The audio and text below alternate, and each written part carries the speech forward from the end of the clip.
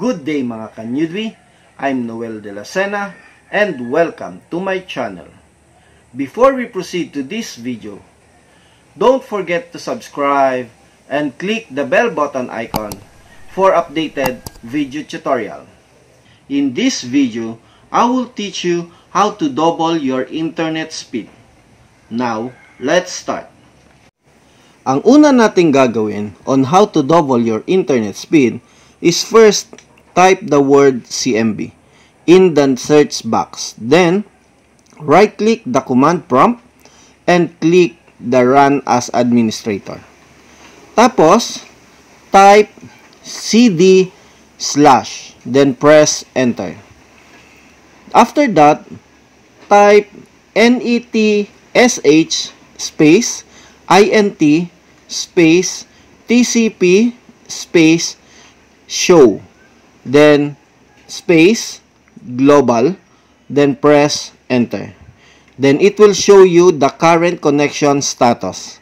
After that type netsh space int space tcp space set space global space Jimmy equals enabled.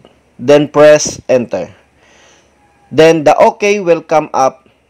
Then type again netsh space int space tcp space set space global space auto tuning level equals normal.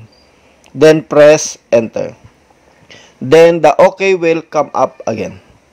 After that, type again netsh space int space tcp space set space global space congestion provider equals tcp then press enter.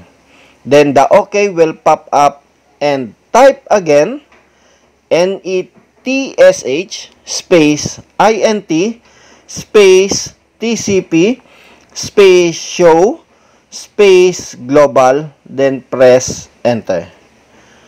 Now, you can check out your internet speed and it will it should be twice as speed or twice as fast as your previous speed.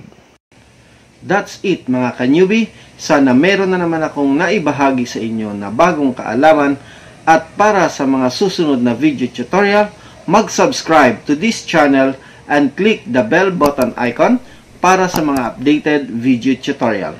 If you have any comment, suggestion, don't hesitate to comment below.